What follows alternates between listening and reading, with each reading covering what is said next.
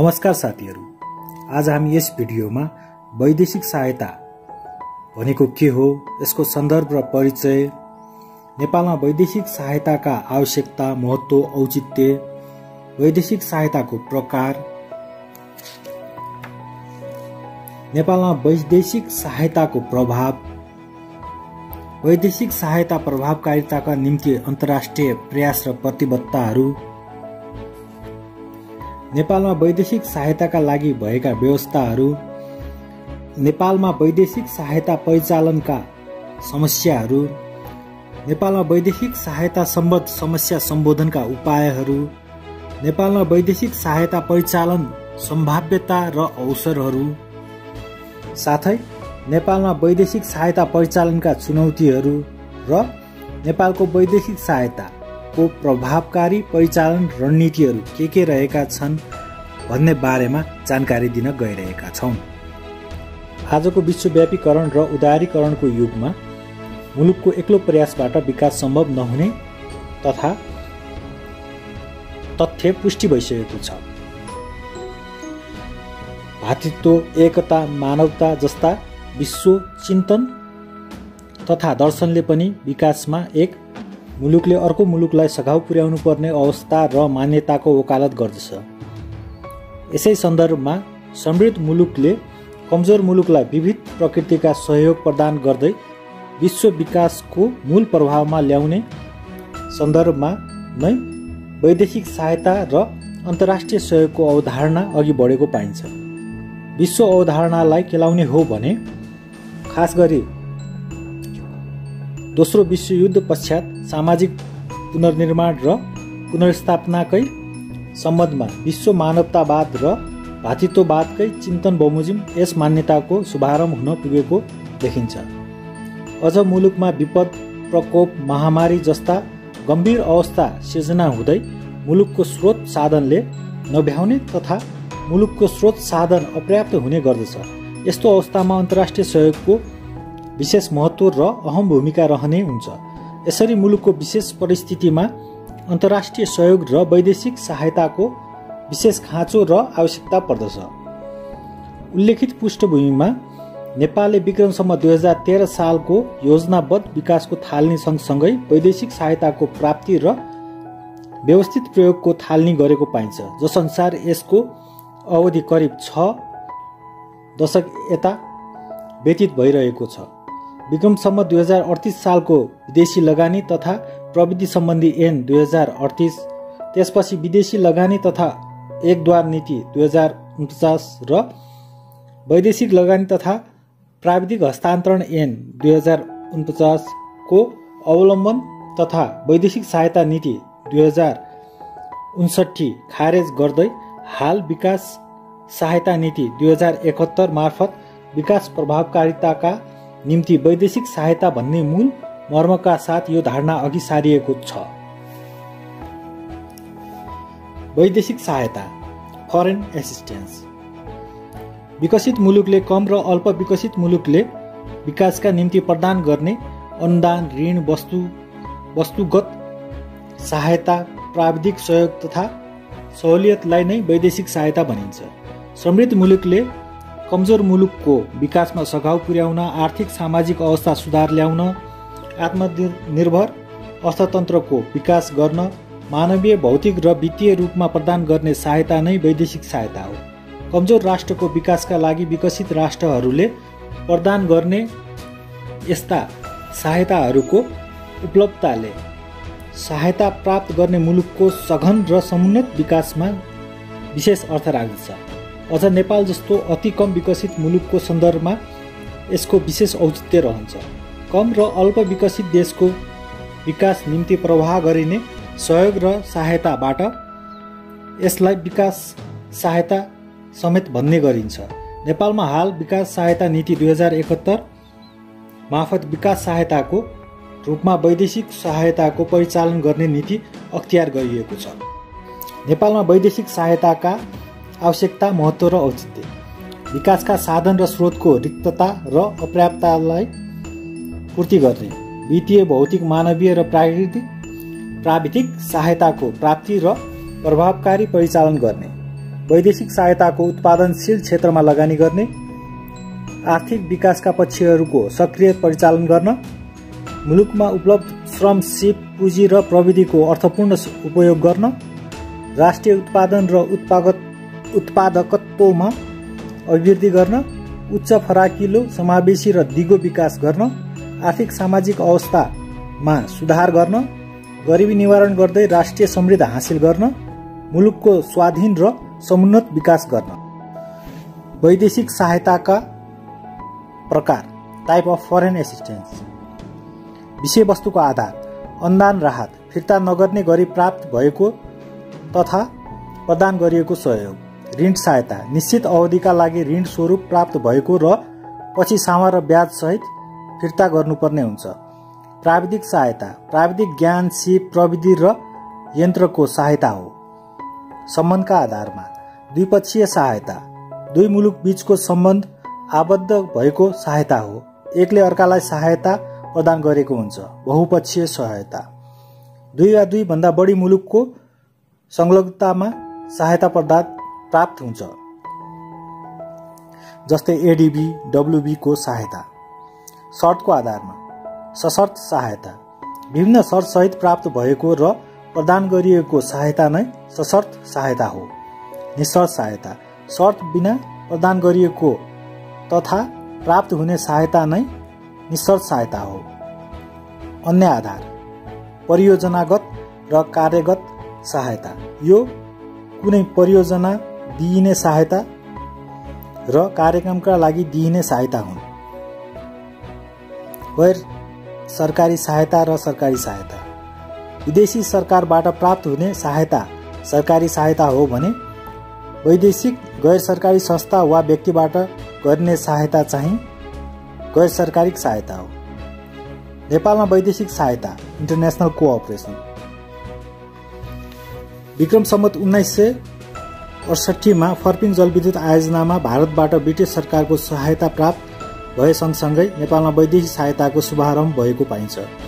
अझ औपचारिक रूपमा सन् उन्नाइस सय एकाउन्नको अमेरिकी पोइन्ट फोर कार्यक्रम मार्फत नेपाललाई सहायता प्राप्त भएको मानिन्छ।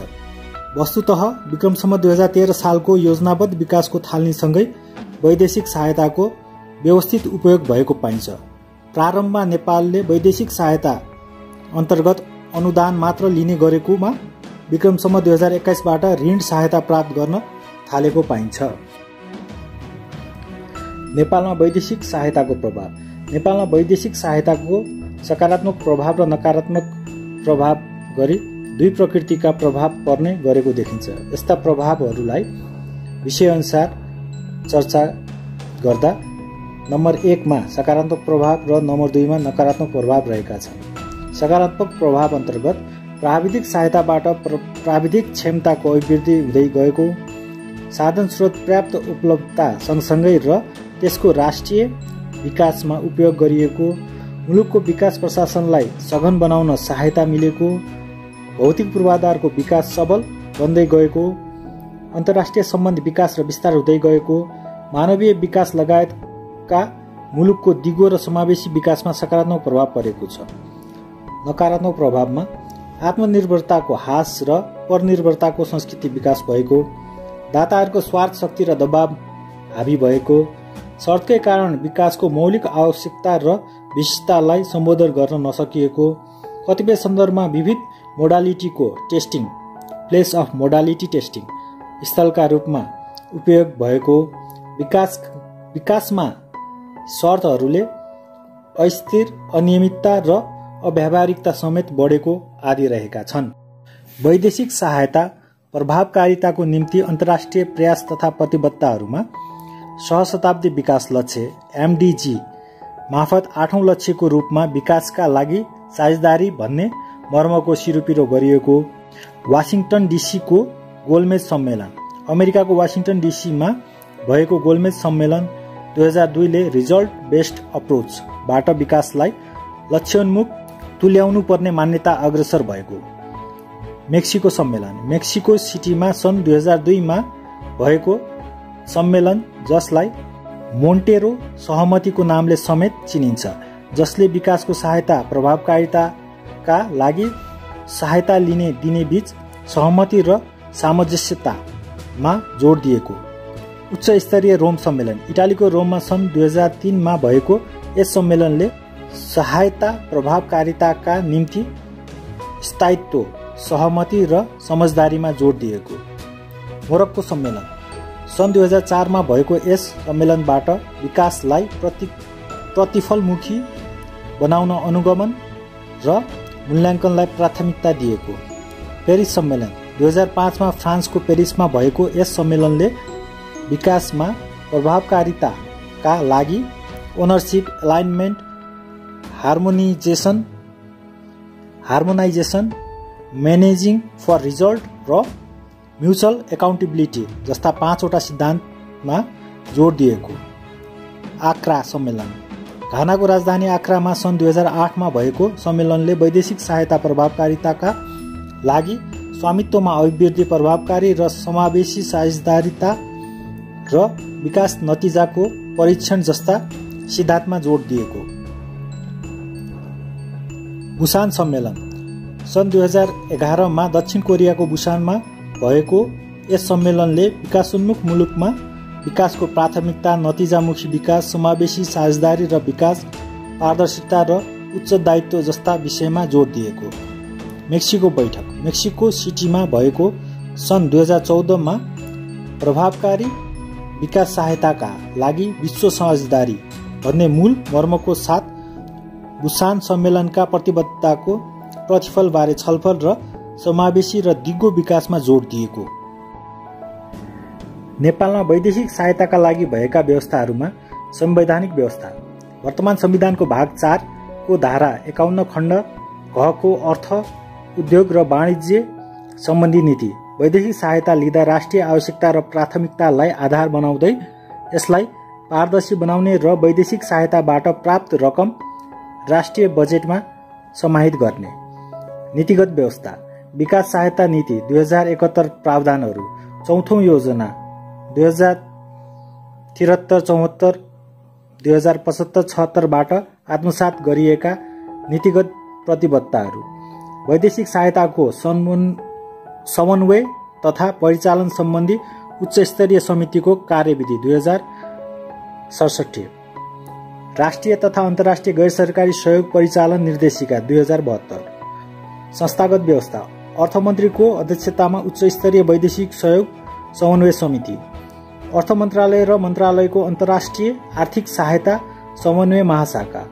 अर्थ मन्त्रालयमा सहायता व्यवस्था सूचना प्रणालीको व्यवस्था। मन्त्रालयहरूमा वैदेशिक सहायता हेर्ने महाशाखाको व्यवस्था नेपाल विकास मञ्चको व्यवस्था अन्य व्यवस्था पेरिस घोषणापत्र दुई हजार पाँच अर्का कार्य योजना दुई हजार आठ बुसान प्रतिबद्धता दुई हजार एघार मेक्सिको बैठक दुई हजार चौध लगायत अन्तर्राष्ट्रिय प्रतिबद्धताहरू। नेपालमा वैदेशिक सहायता परिचालनका समस्याहरू। उपयुक्त नीति र सोच र कार्यान्वयन बीच तालमेल कायम गर्न सकिएको छैन। सबै प्रकारका वैदेशिक सहायतालाई एकीकरण गर्दै परिचालन गर्न नसक्नु। वैदेशिक सहायतामा बढी शर्त र सम्झौताका विषयहरू हाबी हुनु। वैदेशिक सहायतामा अस्थिरता र निरन्तरताको अभाव। वैदेशिक सहायतालाई बजेट मार्फत परिचालन गर्न नसक्नु। वाञ्छित सदुपयोग हुन सकेन। अनियमितता भ्रष्टाचार र अपारदर्शिता हुनु। नतिजामुखी र प्रभावकारी हुन सकेन। सरकारी अनुगमन र मूल्याङ्कन फितलो रहनु। लेखा र लेखा परीक्षणमा समस्या रहनु आदि रहेका छन्। नेपालमा वैदेशिक सहायता सम्बद्ध समस्या सम्बोधनका उपायहरूमा दीर्घकालीन दूरदर्शी र व्यावहारिक नीतिमार्फत वैदेशिक सहायताको उपयोगमा जोड दिने। सबै प्रकारका वैदेशिक सहायताको एकीकृत परिचालनको रणनीति मापदण्ड तय गरी लागू गर्ने। राष्ट्रिय हित विपरीतका सहायता शर्तहरूलाई अस्वीकार गर्ने।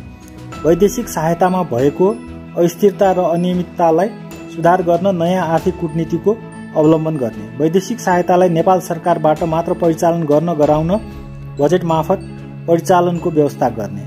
उत्पादनशील र तुलनात्मक क्षेत्रको लगानीमा केन्द्रित गर्दै वैदेशिक सहायताको सही सदुपयोग गर्ने। संस्थागत सुशासनमा सघनता ल्याउँदै भ्रष्टाचार र अन्य अनियमितताको अन्तमा जोड दिने। कार्य प्रगति पेसको मापदण्ड लागू गर्दै नतिजामुखी र प्रभावकारी उपयोगमा जोड दिने। सरकारी अनुगमन र मूल्याङ्कनमा निरन्तरता र प्रति प्रगाढता ल्याउने। लेखा र लेखा परीक्षणलाई व्यवस्थित गर्दै सहायताको वाञ्छित उपयोगमा जोड दिने। नेपालमा वैदेशिक सहायता परिचालनका सम्भाव्यता र अवसरहरूमा वर्तमान संविधानको राज्यका नीति मार्फत वैदेशिक सहायतालाई बजेटमा समाहित गर्न प्रतिबद्धता। वैदेशिक सहायताको परिचालनमा परामर्शता कायम गर्न संवैधानिक प्रतिबद्धता रहेको। संविधानबाटै राष्ट्रिय आवश्यकता र प्राथमिकताको आधारमा वैदेशिक सहायता प्राप्त गर्ने नीतिलाई उद्घोष गरिएको। नेपालको भौतिक र सामाजिक पूर्वाधार कमजोर रहेको परिप्रेक्ष्यमा यस उक्त क्षेत्रमा अर्थपूर्ण परिचालन गर्न सकिने। प्राकृतिक र अन्य स्रोत साधनमा भएको सम्पन्नतालाई राष्ट्रिय समृद्धिमा रूपान्तरण गर्न सकिने अवस्था रहेको। नेपालको विकासमा वैदेशिक सहायता प्रदान गर्न विकास साझेदारहरू तत्पर र इच्छुक रहेको। अर्थमन्त्रीको अध्यक्षतामा उच्च स्तरीय वैदेशिक सहायता समन्वय समितिको व्यवस्थाबाट समन्वय कायम गर्ने व्यवस्था। पेरिस आका बुसान र मेक्सिको बैठक आदि मार्फत अन्तर्राष्ट्रिय प्रतिबद्धता व्यक्त गरिएको। नेपालमा वैदेशिक सहायता परिचालनका चुनौतीहरूमा वैदेशिक सहायतालाई संविधानको नीतिगत सङ्कल्प बमोजिम राष्ट्रिय आवश्यकता र प्राथमिकताको आधारमा प्राप्त गर्नु। वैदेशिक सहायतालाई राष्ट्रिय बजेट मार्फत उपयोग हुने अवस्थाको सिर्जना गर्नु। प्राप्त सहायतालाई उत्पादनशील र तुलनात्मक लाभ प्राप्त हुने गरी उपयोग गर्नु। सहायता परिचालनमा पारदर्शिता र प्रभावकारिता अभिवृद्धि गर्नु। सहायता सम्बद्ध समस्याहरूको हल गर्दै राष्ट्रिय समृद्ध निर्माणको आधार गर्नु। अन्तर्राष्ट्रिय प्रतिबद्धता अनुरूप वैदेशिक सहायताका रणनीतिको विकास र अवलम्बन गर्नु। वैदेशिक सहायताको वाञ्छित उपयोग मार्फत मुलुकलाई स्वाधीन तुल्याउनु रहेका छन्। नेपालको वैदेशिक सहायता विकास सहायताको प्रभावकारी परिचालनका रणनीतिहरूमा फराकिलो समावेशी र दिगो आर्थिक वृद्धि हासिल हुने रोजगारी सिर्जना हुने र गरिबी हटाउने राष्ट्रिय नीति तथा प्राथमिकताका आधारमा अधिक प्रतिफल पाउने गरी विकास सहायताको परिचालन गर्ने छनौटपूर्ण रूपले प्राथमिकता प्राप्त क्षेत्रमा सहायताको परिचालन गरी यसको माध्यमबाट राष्ट्रिय विकासको लक्ष्य हासिल गर्ने कार्यमा सहयोग पुर्याउने जलविद्युत र सडक जस्ता पूर्वाधारको विकास कृषिको आधुनिकरण पर्यटन उद्योग तथा व्यापारका क्षेत्रहरूमा लगानी बढाई नेपालको सामाजिक आर्थिक विकासमा सहयोग पुर्याउने हालसम्म हासिल भएका सामाजिक विकास तथा मानव विकास सूचाङ्क एवं सहशताब्दी विकास लक्ष्यको उपलब्धिलाई दिगो तुल्याउन र सन् दुई हजार पन्ध्र पछिका विकासका कार्यसूचीलाई कार्यान्वयन गर्न एवं दिगो विकासका लागि आवश्यक पर्ने स्रोतको परिचालन गर्ने। उत्पादनशील क्षेत्रमा विकास सहायताको प्रभावकारी उपयोगबाट निजी क्षेत्र निजी लगानी र व्यापारका लागि अनुकूल वातावरणको सिर्जना गर्दै तीव्र आर्थिक वृद्धि हासिल गर्ने। सहायता प्रभावकारिताका लागि पेरिस घोषणापत्र आक्रा योजना आक्रा कार्ययोजना बुसान प्रतिबद्धता र मेक्सिको बैठक समेतका उच्च स्तरीय अन्तर्राष्ट्रिय प्रतिबद्धता अनुरूप विकास सहायताको परिचालन गर्ने।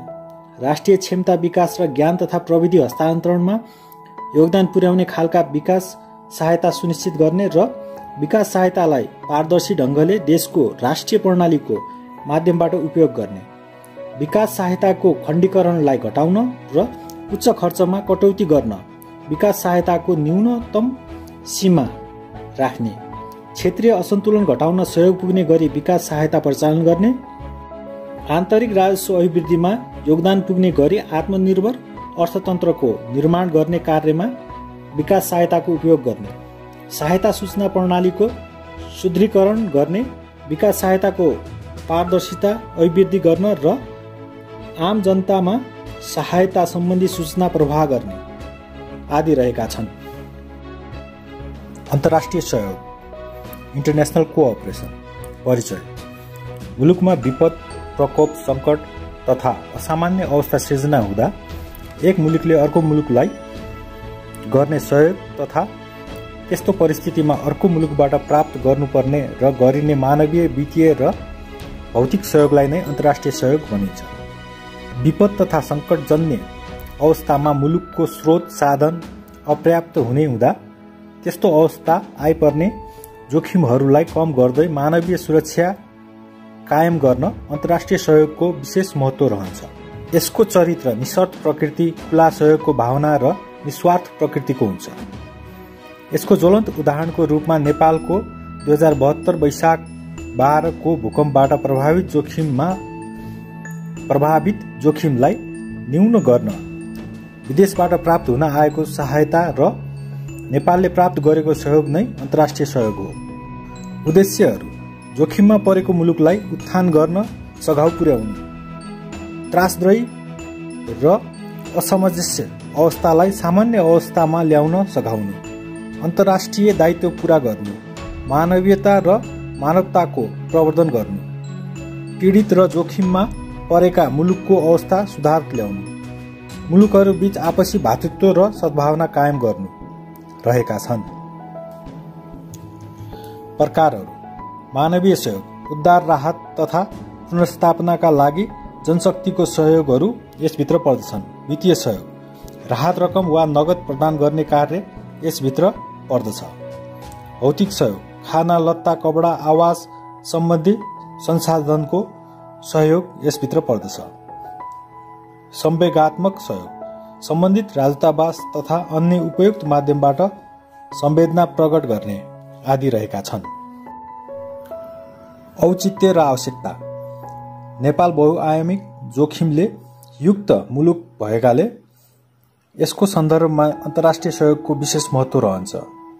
समग्र जोखिम र सङ्कटबाट मुलुकलाई जोगाउन तथा सुरक्षित तुल्याउन यसको विशेष औचित्य रहन्छ जसलाई देहाय बमोजिम समेत उल्लेख गर्न सकिन्छ। विश्व साझेदारीबाट जोखिमहरूको सामना गर्न गराउन विश्व मानव कल्याण र मानवहरू एकै हो भन्ने भावको उजागर गर्न अन्तर्राष्ट्रिय कर्तव्य र जिम्मेवारीहरू पुरा गर्न जोखिमबाट मुक्त गर्दै सामान्य अवस्थामा फर्क्याउन सहयोग र सद्भावको आदान प्रदान गर्न अन्तर्राष्ट्रिय सुसम्बन्धको विकास गर्न गराउन आदि रहेका छन्। अन्तर्राष्ट्रिय सहयोगको प्रभावकारिताका पूर्व शर्तहरूमा शीघ्र सूचना वा जानकारीको व्यवस्था गर्ने सहयोग गर्न उपयुक्त माध्यमको निर्माण शीघ्रता र समयबद्धता सहयोगमा पर्याप्तता उपयुक्त पूर्व तयारी वैज्ञानिक सहयोग परिचालन संयन्त्र पारदर्शिता र नियमितता सुपरिवेक्षण र अनुगमन रहेका छन्। नेपालमा अन्तर्राष्ट्रिय सहयोगको क्षेत्रमा देखिएका समस्याहरूमा उपयुक्त नीति संरचनाको अभाव सहयोग परिचालनमा अपरिपक्वता नेपालमा अन्तर्राष्ट्रिय सहयोगको क्षेत्रमा देखिएका समस्याहरूमा उपयुक्त नीति संरचनाको अभाव सहयोग परिचालनमा अप्रभावकारिता उपयुक्त नियमन संयन्त्रको अभाव समयबद्धता र शीघ्रतामा समस्या परिचालनमा प्रक्रियागत ढिलाइ उपयुक्त पूर्व तयारीको अभाव अपर्याप्त अनुगमन र सुपरिवेक्षण रहेका छन्। नेपालमा अन्तर्राष्ट्रिय सहयोगको क्षेत्रमा देखिएका समस्या सम्बोधन तथा समाधानका उपायहरूमा अन्तर्राष्ट्रिय सहयोग परिचालनको लागि उपयुक्त नीतिको निर्माण गर्न अन्तर्राष्ट्रिय सहयोगको एकीकृत र वैज्ञानिक परिचालन र व्यवस्थापनका निम्ति नियमन संयन्त्रको निर्माणमा जोड दिने सहयोगको समयबद्धता र शीघ्रतालाई कायम गर्न नीति र कार्यान्वयन बीच तादम्यता कायम गर्न व्यावहारिक परिचालनका खातिर प्रक्रियागत सरलीकरण र सहजीकरणमा जोड दिने पूर्व तयारीको उपयुक्त अभ्यासहरूको व्यवस्था गर्ने अनुगमन र सुपरिवेक्षण प्रक्रियाको अनिवार्यता र नियमिततालाई ध्यान दिने उपयुक्त रणनीति निर्माण गर्दै सञ्चालित कार्यक्रमहरूबीच तालमेल कायम गर्ने रहेका छन्। वैदेशिक सहायता र अन्तर्राष्ट्रिय सहयोग बीचको समानता र भिन्नतामा समानता। दुवै अर्को मुलुकको कल्याण र विकासमा लक्षित हुन्छन्। दुवै द्विपक्षीय तथा बहुपक्षीय हुन सक्छन्। दुवै भातृत्व मानवतावाद र सद्भावनासँग सम्बन्धित छन्। दुवै एक मुलुकबाट अर्को मुलुकतर्फ प्रभावित हुन्छन्। यो सबल अवस्थाबाट कमजोर अवस्थातर्फ प्रभावित हुन्छ। भिन्नतामा वैदेशिक सहायता विकासका लागि केन्द्रित हुन्छ भने अन्तर्राष्ट्रिय सहयोग जोखिमको सुरक्षाका लागि लक्षित हुन्छ। वैदेशिक सहायता निरन्तर र स्थिर प्रकृतिको हुन्छ भने अन्तर्राष्ट्रिय सहयोग अस्थायी प्रकृतिको हुन्छ। वैदेशिक सहायता दीर्घकालीन प्रकृतिको हुन्छ तर अन्तर्राष्ट्रिय सहयोग अल्पकालीन प्रकृतिको हुन्छ। वैदेशिक सहायता व्यापक विषय र अवधारणामा आधारित हुन्छ तर अन्तर्राष्ट्रिय सहयोग सीमित अवधारणामा आधारित हुन्छ। वैदेशिक सहायता सशर्त र निशर्त दुवै प्रकृतिको हुन्छ तर अन्तर्राष्ट्रिय सहयोग सामान्यतया निशर्त प्रकृतिको हुन्छ। वैदेशिक सहायताको अन्तिम अभिष्ट सम्बन्धित मुलुकलाई स्वनिर्भर बनाउनु हो भने अन्तर्राष्ट्रिय सहयोगको लक्ष्य जोखिमबाट मुक्त गर्न सघाउ पुर्याउनु हो। वैदेशिक सहायतामा दात्रीको स्वार्थ र दबाव समेत रहन सक्छ तर अन्तर्राष्ट्रिय सहयोगमा निस्वार्थपन र हस्तक्षेप रहित हुन्छ। यो भिडियो अन्तसम्म हेर्नुभएकोमा धन्यवाद छ र मन परे लाइक र सब्सक्राइब गर्न नबिर्सिनुहोला। नमस्कार।